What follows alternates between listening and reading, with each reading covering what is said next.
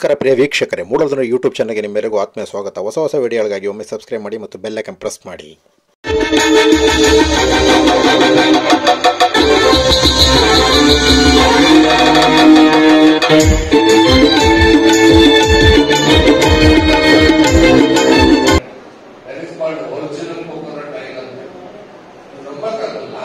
ಅಮೇರಿಕಾದಂತಹ London ದೇಶಗಳಿಗೆ ಶ್ರೀಮಂತರು ಹೆಣ್ಮಕ್ಳು ಮಾತಾಡಬೇಕಾದ್ರೆ ನಮ್ಮ ಕಡೆ ಎಲ್ಲ ಹೆಣ್ಮಕ್ಳು ಮಾತಾಡ್ತಂಗೆ ಹೆಣ್ಮಕ್ಳು ಹೆಮ್ಮೆಯಿಂದ ಹೇಳ್ಕೊತಾರೆ ಅಂತ ಇವತ್ತು ನಮ್ಮ ಮನೆಯಲ್ಲಿ ಒರಿಜಿನಲ್ ಕೋಕೋನಟ್ ಬಾಯಿ ಬಳಸಿ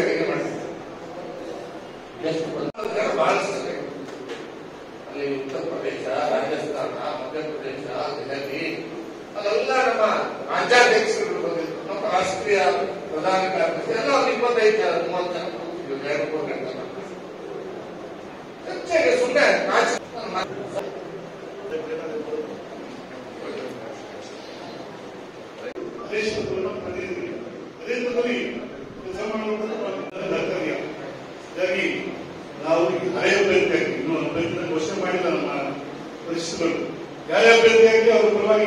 ಕೆಲಸ ಮಾಡಬೇಕಾದಂಥದ್ದು ನಮ್ಮೆಲ್ಲರ ಕರ್ತವ್ಯ. ಇವತ್ತು ಏನು ರೈತ ಬಹಳ ನಮ್ಮ ಚಂದವಾದ ಕೆಲಸವನ್ನ ಮಾಡಬೇಕಾಗುತ್ತೆ ನಿಮ್ಗೆ ಗೊತ್ತಿದೆ ಈ ಈ ತಿಂಗಳಲ್ಲೇ ಚುನಾವಣೆ ನೀತಿ ಸಮಿತಿ ಬರುವಂತದನ್ನ ತತ್ವದಲ್ಲಿರುವಂಥದ್ದು ಮುಂದಿನ ತಿಂಗಳೇ ಚುನಾವಣೆ ನಡೆಯುವಂತ ಒಂದು ಸನ್ನಿವೇಶದಲ್ಲಿ ನಾವೆಲ್ಲ ಪದಾಧಿಕಾರಿಗಳಾಗಿರುವಂಥದ್ದು ನಮ್ಗೆಲ್ಲ ಗೊತ್ತಿರುವಂತ ವಿಚಾರ ಅದೇ ಚುನಾವಣೆ ಹತ್ತಿರದಲ್ಲಿರುವಂಥದ್ದು ಜನರಿಗೆ. ಹಾಗಾಗಿ ಕೆಲಸ ಮಾಡಬೇಕು ಅಂತ ಹೇಳಿದ್ರೆ ನಾವೊಂದು ಸಿದ್ಧ ಇರ್ತೀವಿ ಪರವಾಗಿದೆ ಕೆರೆಗಳು ನೀರು ತುಂಬಿಸದೇ ಇರೋದ್ರಿಂದ ನಮ್ಮ ಬೆಳೆಗಳು ಈಗ ಹತ್ತೊಂಬತ್ತ ಐದಾರು ಮೂರು ತಿಂಗಳು ಬೆಳೆ ನಾಲ್ಕು ತಿಂಗಳು ಬೆಳೆ ಎಲ್ಲ ಹಾಳಾಗ್ತಾ ಇದೆ ಹಾಳಾಗ್ತಾ ಇರ್ತಕ್ಕಂಥ ಸಂದರ್ಭದಲ್ಲಿ ಸರ್ಕಾರ ವೈಜ್ಞಾನಿಕವಾಗಿ ಸರ್ವೆ ಮಾಡಿ. ಏನ್ ನಷ್ಟ ಆಗಿದೆ? ಅವ್ರಿಗೆ ಏನ್ ನಷ್ಟ ಆಗಿದೆ ಅನ್ನೋದನ್ನ ತಹಸೀಲ್ದಾರ್ ಮೂಲಕ, ಅಥವಾ ಇಲಾಖೆಗಳ ಮೂಲಕ ಸರ್ವೆ ಮಾಡಿಸ್ತಕ್ಕಂಥ ಒಂದು ಒಂದು ಒಂದು ಕನಿಷ್ಠ ಸೌಜನ್ಯವನ್ನ ತೋರಿಸದೇ ಇರ್ತಕ್ಕಂಥ ಸಂದರ್ಭದಲ್ಲಿ ನಾವೆಲ್ಲರೂ ಕೂಡ ಇದ್ದೀವಿ. ಬೆಳೆಗಳ ನಾಶ ಆಗಿದೆ. ಮತ್ ಮಳೆ ಮಳೆ ಆಗಿಲ್ಲ ಅಂತಕ್ಕಂಥದ್ದು ಜಗತ್ತಿಗೆ ಗೊತ್ತಿರ್ತಕ್ಕಂಥ ವಿಚಾರ. ಶೇಕಡ ಎಪ್ಪತ್ತರಷ್ಟು ಈ ಜಿಲ್ಲೆ ಮಳೆಯಾಶ್ರಯದ ಬೆಳೆಯನ್ನು ನಂಬಿಕೊಂಡಿರ್ತಕ್ಕಂಥ ಜಿಲ್ಲೆ. ಮಳೆಯಾಶ್ರಯದ ಬೆಳೆ ತೊಂಬತ್ತರಷ್ಟು ನಾಶ ಆಗಿದೆ. ಹುಳಿ ಬೆಳೆದಿಲ್ಲ ಕುಚ್ಚಳಿ ಬೆಳೆದಿಲ್ಲ ಸಾಮೆ ನಾವಣೆ ಸಜ್ಜೆ ರಾಗಿ ಇವುಗಳೇ ಇಡೀ ಪ್ರಪಂಚಕ್ಕೆ ಶೇಕಡ ತೊಂಬತ್ತರಷ್ಟು ಆಹಾರವನ್ನು ಉತ್ಪಾದನೆ ಮಾಡ್ತಾ ಇರ್ತಕ್ಕಂಥದ್ದು ಮಳೆಯಾಶ್ರಯದ ಪ್ರದೇಶ ಮಳೆಯಾಶ್ರಯದ ಪ್ರದೇಶ ಬೆಳೆ ರೈತರನ್ನ ಮಳೆಯಾಶ್ರಯದ ಪ್ರದೇಶವನ್ನ ರೈತರು ಅಂತ ಪರಿಗಣಿಸ್ತಾ ಇರೋ ಸರ್ಕಾರಗಳು ಸೊ ಅಂತಹ ಒಂದು ಕೆಟ್ಟ ಸ್ಥಿತಿಯಲ್ಲಿ ನಾವು ರೈತ ಮೋರ್ಚಾ ಅಧ್ಯಕ್ಷನಾಗಿ ನಾನು ಈ ವಿಚಾರವನ್ನ ಮಂಡನೆ ಮಾಡ್ತಾ ಇದ್ದೇನೆ ನಿಮ್ಗೆಲ್ರಿಗೂ ಗೊತ್ತಿರಲಿ ಜನ ಜಾನುವಾರುಗಳನ್ನೇ ನಂಬ್ಕೊಂಡು ರೈತರು ಜೀವನ ಮಾಡ್ತಾರೆ ರೈತರ ಉಪಕಸಬು ರೈತರ ಬೆನ್ನೆಲುಬು ಅಂದ್ರೆ ಅದು ಹೈನುಗಾರಿಕೆ ಅದು ಎತ್ತುಗಳಿರ್ಬೋದು ಹಸುಗಳಿರ್ಬೋದು ಈ ತರದ ಅದು ಗೊಬ್ಬರವನ್ನು ಉತ್ಪಾದನೆ ಮಾಡುತ್ತೆ ರೈತರ ಮೇಲಿನ ವರ್ಕೆ ನಾವು ಅದು ಹಸುಗಳೊಂದಿಗೆ ಪ್ರಾರಂಭ ಆಗುತ್ತೆ ಇವತ್ತು ಮೇಲಿನ ತೊಂದರೆ ಇದೆ ಯಾಕಂದ್ರೆ ಕೊನೆಯಲ್ಲಿ ಮಳೆ ಆಗಿಲ್ಲ ಮೊದಲು ಮಳೆ ಆಗಲಿಲ್ಲ ನಾವು ಎಲ್ಲಿ ಈಗ ಮಾಳ ಮಂಡಿಗಳಲ್ಲಿ ಒಂದು ದನಕರುಗಳನ್ನು ಮೇಯಿಸ್ಕೊಂಡು ಜೀವನ ಮಾಡ್ತಿದ್ವಿ ನಾವೇನು ಸರ್ಕಾರಗಳು ನಂಬ್ಕೊಂಡಿರಲಿಲ್ಲ ಅದರ ದುರಂತ ಮಣಿ ಮೇವಿಲ್ಲ ಮೇವಿಲ್ಲದೆ ಇರ್ತಕ್ಕಂಥ ಸಂದರ್ಭದಲ್ಲಿ ಇವತ್ತು ಸರ್ಕಾರ ಬಹಳ ಹಿಂದೆ ಯಡಿಯೂರಪ್ಪ ಸರ್ಕಾರ ಇದ್ದಾಗ ಬಹಳ ಹಿಂದೆ ಫಂಡ್ ಅನ್ನು ಬಳಸ್ಕೊಂಡು ಹಠಾತ್ ಆಗಿ ಏನ್ ಬೇಕೋ ಹೋಗೋದು, ಅಡ್ವಾನ್ಸ್ ಆಗಿ ಇಲಾಖೆಗಳು ಅಂತೇಳಿ ಮೇವು ಸಂಗ್ರಹಣೆಗೆ ಒತ್ತು ಕೊಟ್ಟಿದ್ರು ಮೇವು ಸಂಗ್ರಹಣೆ ಆಗಿದ್ದಕ್ಕೆ ಗ್ರಾಮ ಪಂಚಾಯತಿ ಮಟ್ಟದಲ್ಲಿ ಮೇವು ವಿತರಣೆಗಳನ್ನು ಬಳಸ್ತಿದ್ರು ಮತ್ತೆ ಆ ಸಂದರ್ಭದಲ್ಲಿ ಜನಜಾನುವಾರುಗಳನ್ನ ಕಾಪಾಡಿಕೊಳ್ಳಿಕ್ಕೆ ಒಂದ್ ವೇಳೆ ದೂರದ ಪ್ರದೇಶಗಳಿಗೆ ನಾವು ಮೇವು ತಲುಪಿಸಕ್ಕಾಗ್ತಾ ಅಂತಂದ್ರೆ ಅಲ್ಲೆಲ್ಲ ಖರೀದಿ ಮಾಡ್ತಕ್ಕಂಥದ್ದು, ಅವರಿಗೆ ಮೇವನ್ನು ವಿತರಣೆ ಮಾಡ್ತಕ್ಕಂಥದ್ದನ್ನ ಗ್ರಾಮ ಪಂಚಾಯತ್ ಟಾಸ್ಕ್ ಫೋರ್ಸ್ ಮಾಡಿ ಇಲಾಖೆ ಬಹಳ ಅಡ್ವಾನ್ಸ್ ಆಗಿರ್ಬೇಕು. ಮತ್ತೆ ಅದನ್ನ ಒಂದ್ ರೀತಿ ಸಮರೋಪಾದಿಯಲ್ಲಿ ಮಾಡ್ತಾ ಇದ್ದಂಥದ್ದನ್ನ ನಾವು ಕಣ್ಣಾರೆ ಕಂಡಿದ್ವಿ ಈಗಿನ ಸರ್ಕಾರ ಕನಿಷ್ಠ ಸೌಕರ್ಯಕ್ಕೂ ಕೂಡ ನಮ್ಮ ಜಿಲ್ಲಾ ಮಂತ್ರಿ ಹಸುಗಳ ಮಂತ್ರಿ ಪಶುಸಂಗೋಪನೆ ಸಚಿವರು ಕನಿಷ್ಠ ಸೌಜನ್ಯಕ್ಕೆ ರೈತರನ್ನ ಕರೆದು ಅಥವಾ ಇಲಾಖೆಯವರನ್ನ ಕರೆದು ಸಭೆ ಮಾಡಿ ನಾವು ಇದೇ ನಿಮ್ ಜೊತೆಗೆ ನೀವು ಜನ ಜಾನು ಜನ ಜಾನುವಾರುಗಳನ್ನ ಮಾಡಬೇಡಿ ನೀವು ಅದನ್ನ ಇಟ್ಕೊಳ್ಳಿ ನಾವು ಖಂಡಿತ ನಿಮ್ ಜೊತೆಗಿದ್ದೀವಿ ಅಂತಕ್ಕಂಥ ಒಂದು ಮಾರಲ್ ಸಪೋರ್ಟ್ ಧೈರ್ಯ ತುಂಬತಕ್ಕಂಥ ಈ ಸರ್ಕಾರ ಮಾಡಿಲ್ಲ. ಮಾಡಿದ್ರೆ ಸಂದರ್ಭದಲ್ಲಿ, ಈ ಪದಗ್ರಹಣ ಸಮಾರಂಭದಲ್ಲಿ ನಾವೆಲ್ಲ ನಾಯಕರುಗಳು ಎದುರಿಗೆ ಹೇಳ್ತಾ ಇದ್ದೀವಿ, ಇಂತಹ ಸರ್ಕಾರಗಳು ಇತಿಹಾಸದ ಮುಂದಿದ್ದೇ ಇಲ್ಲ. ಯಾವ ಯಾವ ಸಂದರ್ಭದಲ್ಲಿ ರೈತರನ್ನು ಕಡೆಗಣಿಸಿವೆ, ಅಂತ ಎಲ್ಲಾ ಸರ್ಕಾರಗಳು ಹೋಗಿವೆ. ಹಿಂದೆ ಕಾಂಗ್ರೆಸ್ ಇದೇ ತರದ ನಡವಳಿಕೆಗಳನ್ನು ಪ್ರದರ್ಶನ ಮಾಡಿ, ಇವತ್ತು ಏಳಕ್ಕೆ ಹೆಸರಿದೆ ಅಂತಕ್ಕಂಥ ಸನ್ನಿವೇಶಕ್ಕೆ ಬಂದು ನಿಂತಿದೆ. ವೇದಿಕೆ ಮೂಲಕ ಅವರಲ್ಲಿ ಆ ಸರ್ಕಾರಕ್ಕೆ ನಾವು ಖಂಡಿತ ನಾವು ನಾವೇನಾದ್ರೂ ಯಾವುದೇ ತರದ ನೆಗೆಟಿವ್ ಇಲ್ಲ. ಈ ಕ್ಷಣದಿಂದ ಎಚ್ಚೆತ್ಕೊಂಡು ರೈತರ ಪರವಾಗಿ ನಿಲ್ಬೇಕು. ಕೆರೆಗಳ ನೀರು ತುಂಬಿಸ್ತಕ್ಕಂತ ಯೋಜನೆಯನ್ನ ಯಡಿಯೂರಪ್ಪನವರು ಅವತ್ತು ಇಂಜಿನಿಯರ್ಗಳೇ, ಇದು ಆಗ ಕಷ್ಟ ಸಾಧ್ಯ, ಸಾಕಷ್ಟು ಫೇಲ್ ಆಗಿದೆ ಮಳವಳ್ಳಿ ಫೇಲ್ ಆಗಿದೆ, ಹಂಗೆ ಹಂಗೆ ಅಂದ್ರು. ಇಲ್ಲ ರೀ, ನಾನು ಸರ್ಕಾರ ಹೇಳ್ತಾ ಇದ್ದೀನಿ. ಅದಕ್ಕೆ ತಕ್ಷಣ ನೀವು ಕಾರ್ಯೋನ್ಮುಖರಾಗಿ ಅಂತೇಳಿ ಪ್ಲಾನ್ ಮಾಡಿಸಿ, ಆ ಕೆರೆಗಳ ನೀರು ಬರಬೇಕು ರೈತರಿಗೂ ಡೌಟ್ ಇತ್ತು ಅನ್ನೋ ತರ ಅಧಿಕಾರಿಗಳು ಮನವರಿಕೆ ಮಾಡ್ತಿದ್ರು. ಪ್ರಾರಂಭ ಆಯ್ತು ಕೆರೆಗಳ ನೀರು ತುಂಬಿಸ್ತು ಕಳೆದ ಸರ್ಕಾರದಲ್ಲಿ ನೀರು ತುಂಬಿಸಿ ಸಾಕಷ್ಟು ಅಂತರ್ಜಲ ಮೇಲ್ಗಡೆನೆ ಚಿಮ್ತಾ ಇದೆ ಅಂತಕ್ಕಂಥದ್ದನ್ನು ನಾವು ವಾಟ್ಸ್ಆಪ್ಗಳಲ್ಲಿ ಅಲ್ಲಿ ಇಲ್ಲಿ ನೋಡ್ತಾ ಇದ್ವಿ ಈ ಸಾರಿ ಕೆರೆ ಮುಗ್ಲಲ್ಲಿ ಇರ್ತಕ್ಕಂತಹ ಬೋರ್ವೆಲ್ಗಳಲ್ಲೇ ನೀರು ನಿಂತೋಗಿದೆ ಇಂತಹ ಒಂದು ದಯನೀಯ ಸ್ಥಿತಿಗೆ ಸರ್ಕಾರ ರೈತರನ್ನ ತಂದು ನಿಲ್ಲಿಸಿದೆ ನಾನು ಹೆಚ್ಚಿಗೆ ಮಾತನಾಡ್ತಾ ಇಲ್ಲ ಆದ್ರೆ ನಿಜವಾದ ಸಮಸ್ಯೆ ಇದೆ ಅನ್ನೋದನ್ನ ಹೇಳಲೇಬೇಕಾದಂತಹ ಅನಿವಾರ್ಯತೆಯಲ್ಲಿ ಮಾತನಾಡಿದ್ದೀನಿ ದಯಮಾಡಿ ಸರ್ಕಾರ ಈಗಲಾದ್ರೂ ಎಚ್ಚೆತ್ಕೊಂಡು ಕೆರೆಗಳು ನೀರು ತುಂಬಿಸ್ತಕ್ಕಂಥ ತಮ್ಮದೇನಿದೆ ಪ್ಲಾನ್ ಅಟ್ಲೀಸ್ಟ್ ಅವ್ರಿಗೆ. ನೀರು ತುಂಬಿಸ್ತಕ್ಕಂತಹ ಪಂಪ್ ಹೌಸ್ಗಳನ್ನ ಚೆನ್ನಾಗಿ ಮೇಂಟೈನ್ ಮಾಡಕ್ ಆಗ್ತಾ ಇಲ್ಲ. ಆ ಮೂರ್ ಮೋಟರ್ ಒಳಗಡೆ ಒಂದೊಂದ್ ಮೋಟರ್ ಓಡಲಿಲ್ಲ ಕಳೆದ ಬಾರಿ. ಆ ಒಂದೊಂದ್ ಮೋಟರ್ ಓಡದೆ ಕೆರೆಗಳ ನೀರು ತುಂಬಿಲ್ಲ. ಅಲ್ಲಿರೋರು ಸರ್ ಯಾಕೆ ಈಗ ಆಗ್ತಾ ಇದೆ ಅಂತಕ್ಕಂಥ ಹೇಳೋರನ್ನು ಕೇಳೋಲ್ಲ ನಮ್ಮಲ್ಲಿ ನಮ್ಮಲ್ಲಿ ಇರ್ತಕ್ಕಂತಹ ಎಂ ಎಲ್ ಎಗಳು, ಚುನಾಯಿತ ಪ್ರತಿನಿಧಿಗಳು, ಈಗ ನಾವು ಹಿಂದೆ ಇದ್ದಂತ ಸಂದರ್ಭದಲ್ಲಿ ಬಹಳ ಹೋರಾಟಗಳು ಮಾಡ್ತಿದ್ವಿ. ನಮ್ದೇ ಸರ್ಕಾರ ಇದ್ರು ಕೂಡ ಇಲ್ಲ, ನೀರು ತುಂಬಿಸ್ಬೇಕು ಅಂತಕ್ಕಂಥದ್ದನ್ನ ನಮ್ಮ ರೈತ ಮೋರ್ಚಾ ಆಗ್ಬೋದು, ನಮ್ಮ ಶಾಸಕರುಗಳಾಗ್ಬೋದು ವಿಧಾನಸಭೆ ದನಿ ಅಂತವರು ಎಷ್ಟು ಅದಕ್ಕೆ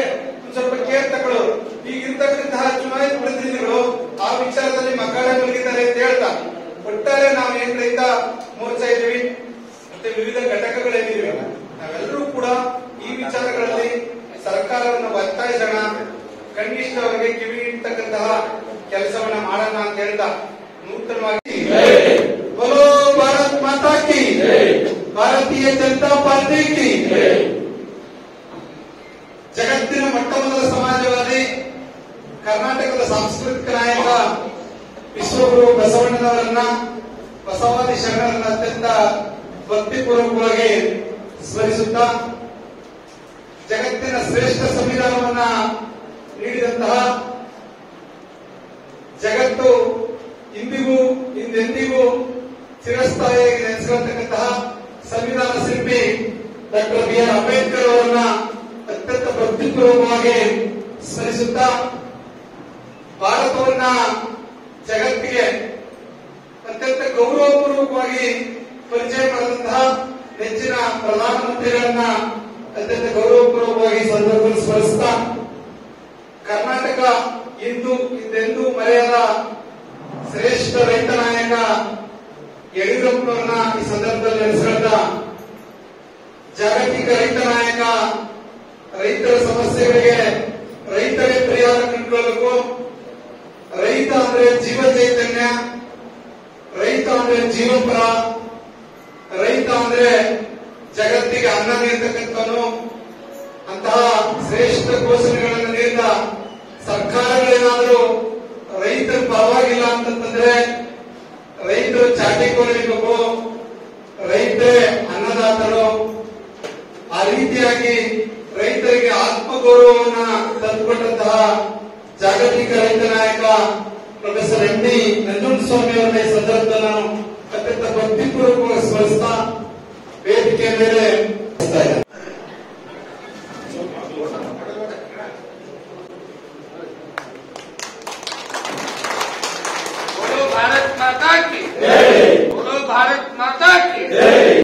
नम देश रईतर स्वयं स्वावल देश आगे नावे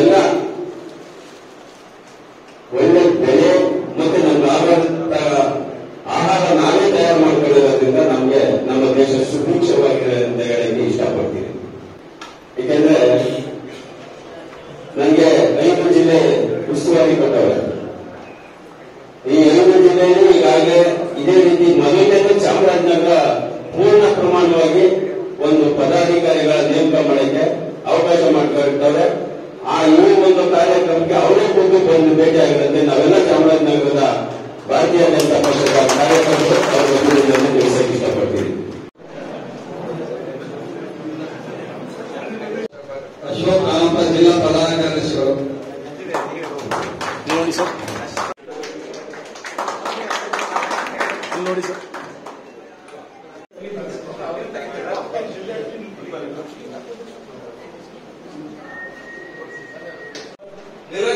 ಕೂಡ ಅಭಿನಂದನೆಗಳನ್ನ ಹೇಳಬೇಕು. ಸೂಕ್ತವಾದಂತ ವ್ಯಕ್ತಿಯನ್ನ ಸೂಕ್ತವಾದಂತ ಸ್ಥಳದಲ್ಲಿ ಕೂರಿಸಿದ್ದೀರಿ ನಿಮಗೆ ಎಲ್ಲರ ಪರವಾಗಿ ನಾನು ಅಭಿನಂದನೆಗಳನ್ನ ಸಲ್ಲಿಸ್ತೇನೆ. ಯಾಕೆ ಅಂತಂದ್ರೆ ಟಿ ಎಂ ಚಪ್ಪಳೆ ನಡೀತಾ ಇರೋದು ಯಾರು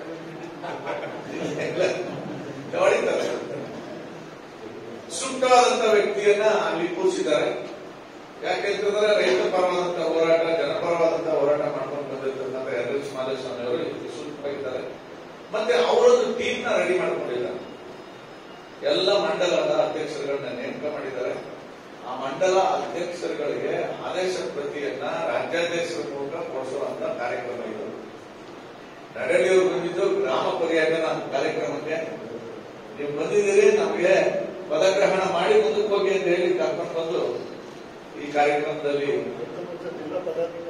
ಜಿಲ್ಲಾ ಪದಾಧಿಕಾರಿಗಳು ಮತ್ತು ಮಂಡಲ ಪದಾಧಿಕಾರಿಗಳ ಪದಗ್ರಹಣ ಕಾರ್ಯಕ್ರಮ. ಈ ಕಾರ್ಯಕ್ರಮಕ್ಕೆ ಬೇರೆ ಬೇರೆ ಭಾಗದ ಅಲ್ಲಿಂದ ಮಾದೇಶ್ವರ ಮಲೆ ಮಾದೇಶ್ವರ ಬೆಟ್ಟದಿಂದ ಕೂಡ ಬಂದಿದ್ದಾರೆ.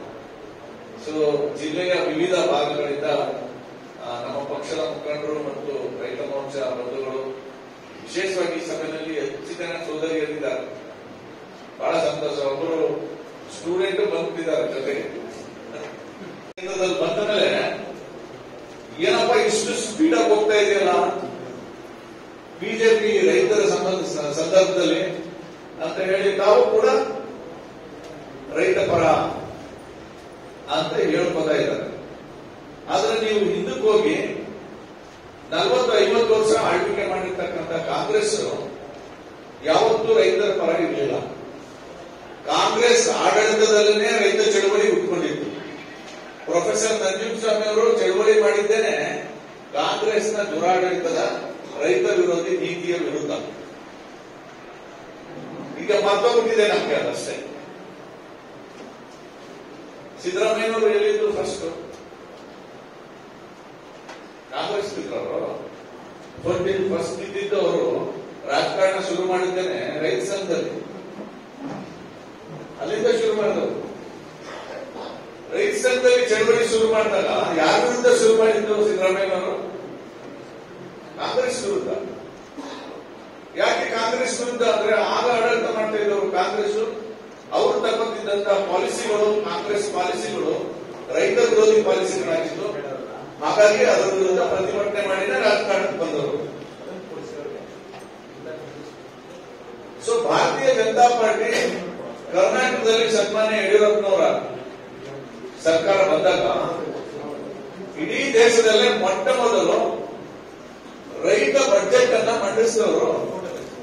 ಯಡಿಯೂರಪ್ಪ ಎಲ್ಲಿದ್ದು ರೈತರಿಗೆ ವಿಶೇಷವಾದಂತಹ ಬಜೆಟ್ ಮಂಡನೆ ಮಾಡುವಂತ ಒಂದು ಪದ್ಧತಿ ಹಸಿರು ಟವಲ್ ಹಾಕೊಂಡು ಪ್ರಮಾಣ ವಚನ ಸ್ವೀಕರಿಸಿದ್ರು.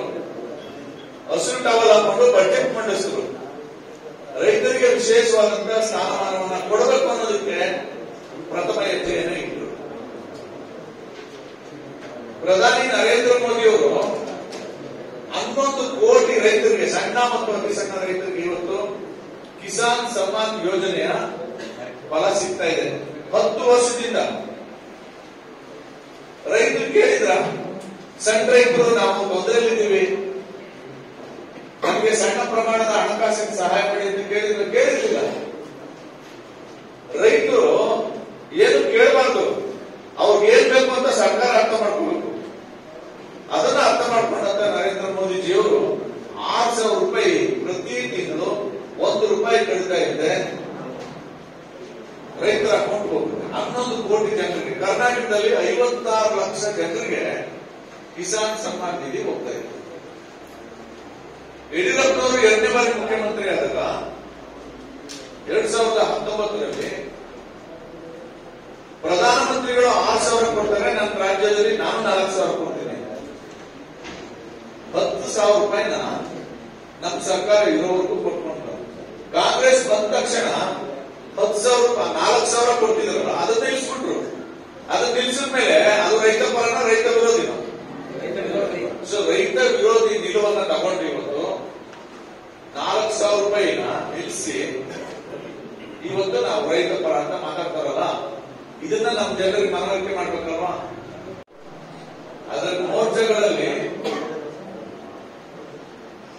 ಒಂದೊಂದು ವರ್ಗವನ್ನ ಪ್ರತಿನಿಧಿಸಿ, ಆ ವರ್ಗವನ್ನ ವಿಶೇಷವಾಗಿ ಸಂಘಟಿಸಿ ಭಾರತೀಯ ಜನತಾ ಪಾರ್ಟಿಗೆ ಶಕ್ತಿ ತುಂಬುವಂತ ಕೆಲಸವನ್ನ ಮಾಡಬೇಕಾಗ್ತದೆ.